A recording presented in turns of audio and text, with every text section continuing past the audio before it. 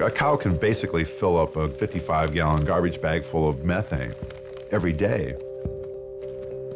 One cow's not a problem, but now we have 1.5 billion of them.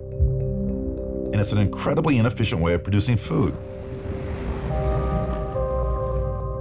Three quarters of agricultural land is used just to feed livestock. When you factor in everything, the clearing of the land for grazing, feeding, transporting, livestock causes more greenhouse gases than all the direct emissions from the entire transportation sector.